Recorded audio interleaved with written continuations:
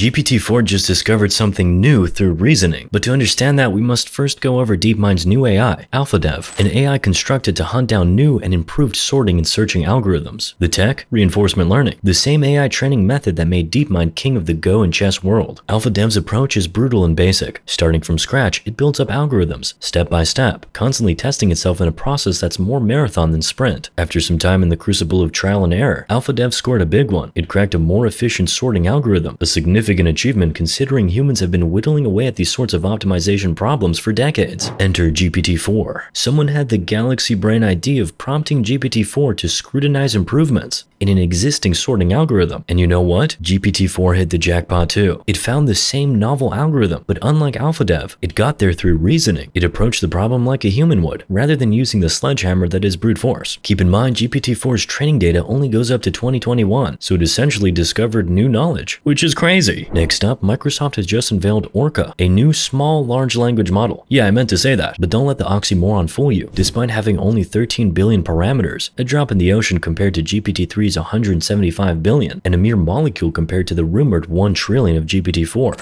Orca stands tall, matching GPT-3's performance on a series of challenging evaluations. I know what you're thinking. We've heard similar claims before. Many pint-sized models have emerged, claiming to stand shoulder to shoulder with ChatGPT, only to have their promises evaporate when put to the test. Most most do well in controlled, cherry-picked situations, but buckled when the heat is turned up. But Orca, my friends, appears to be the real deal. And here's the exciting part. It's doing so with a unique approach. While other models are fine-tuned on outputs from ChatGPT, essentially trying to mimic ChatGPT's responses, Orca takes a different path. Rather than just train on the correct output, Orca's training involved step-by-step -step reasoning and explanations provided by ChatGPT for each answer generated. It's like Orca wasn't just given the answers to the test, but the working out too. And guess what? Orca thrived on this method, adding another layer to this fascinating development, Orca's performance significantly improved when it was first trained on GPT-3, and then on GPT-4 later. It's almost like Microsoft took a page out of human learning, where we don't dive headfirst into the deep end, but gradually increase the level of difficulty. In other news, Meta released a new open source music generator called MusicGen. Creative. Given an input melody, it can recreate the song in any style, like hip-hop or 80s pop. On the video side of things, Runway ML just released Gen 2 to the public, their impressive text-to-video model. You can now bring your wildest sci-fi fantasies to life. Well, sort of. Just type in a scene description and watch it morph into reality before your very eyes. And guess what? You can try it for free. No, not the input your credit card details and we'll charge you if you forget to cancel kind of free. We're talking truly completely free. And if you think that's impressive, take a look at this. That's a showcase of their Gen 1 model, capable of translating video to video. This AI is putting special effects artists out of business.